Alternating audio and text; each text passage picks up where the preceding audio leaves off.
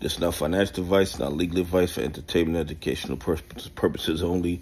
Anything I say is my opinion. Please don't make any financial decision based on anything I say in these videos. Listen. PLTR is breaking records in revenue. They're getting better every single quarter. They have government contracts. They have military contracts. They have commercial contracts. They're holding boot camps to show corporations, to show businesses, to show the government, to show the military how their product can save them money, time, and make them more efficient. And more and more people are getting on board. The revenue projection is out of this world. Yet somehow, Seeking Alpha thinks that PLTR is going to drop by 50%. I'm going to tell you guys something.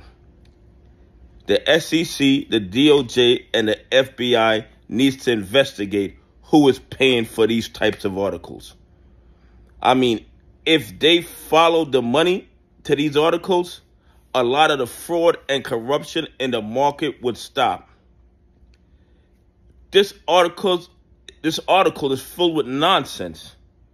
It makes absolutely no sense based on PLTR's Palantir's fundamentals. Somebody is paying them to put out these negative articles on PLTR. More than likely, it's somebody who's extremely short in the stock and losing their shirt because PLTR is moving up.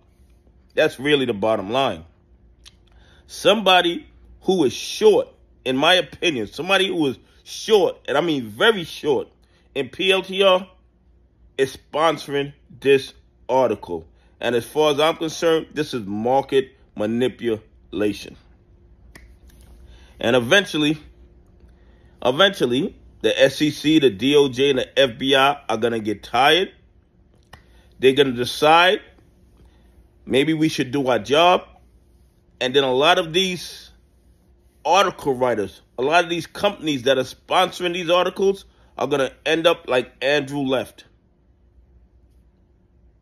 They're going to end up like Andrew Left. That's what I believe. It's absolutely crazy what these bad actors get away with in the United States stock market. This type of fraud and malfeasance wouldn't be acceptable in any other industry on the planet. But because these guys pay off polit well, not pay off, donate to politicians, and then these politicians are the ones that appoints the head of the regulatory agencies, these bad actors feel they can do whatever they want whenever they want with no consequences whatsoever. Anyway, please leave some comments. Tell me what you think. Do you think with all the positive news, all the fundamentals of PLTR, do you think PLTR is about to drop 50% in a fair and transparent market? Or is this FUD article another tool they're using to control the algos and push the price down? Anyway, have a great day. God bless. And I appreciate y'all on this journey with me.